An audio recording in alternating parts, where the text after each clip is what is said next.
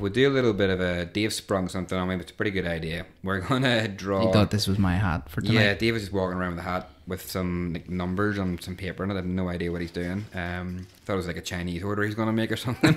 I'm pretty hungry.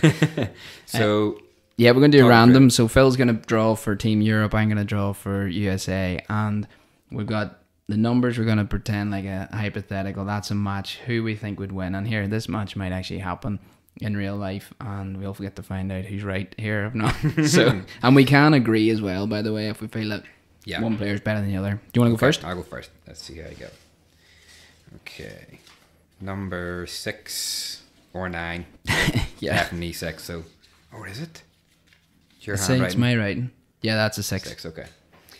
Which gives Three. I gives me got. Oh, Jon Rahm. Jon Rahm, and I got Brian Harman. Okay. That's a that's a two. Jon, it's too good, but Jon as well. Yeah, no, he's pretty steady. Yeah, he, he's got he's got everything covered, doesn't he? But saying that, like, it's not like Brian Harman can't. He's so steady. Complete two different, completely different golfers. Yeah. Like Jon mega. Rahm still wins that though. He is. I'm still gonna go Jon Rahm, but he's I think such a complete golfer. yeah, No, it's not to say that Harman can't beat him. Obviously, Yeah. he's, a, he's in. He won the Open. He can compete and beat the best in the world.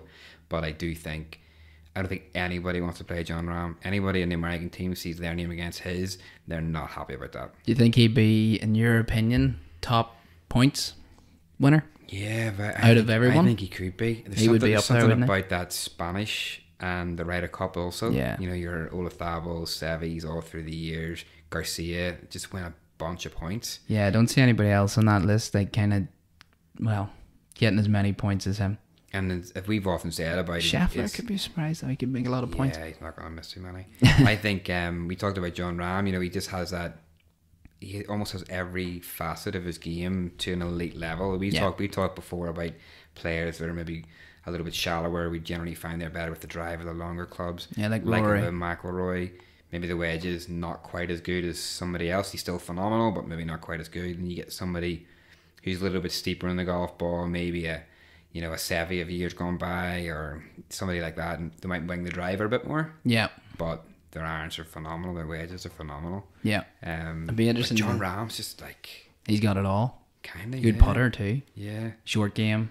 yeah. Although talking about putting, if anybody putted uh, a Scheffler to put halfway decent this season, I know. the guy would have been out of sight. It's like yeah, Brian Harman's putting display at the Open was pretty special. He's He brings that into Ryder Cup. That could be an- annoying for anybody that he faces, like because he make everything. Okay, Um, right. We'll we'll put We're both thinking Jon Rahm wins that one. If it happens, put these back in in case we get. Let me shake them up though, so we don't pick out the same ones. That wouldn't be too good. give me another. Right. Right.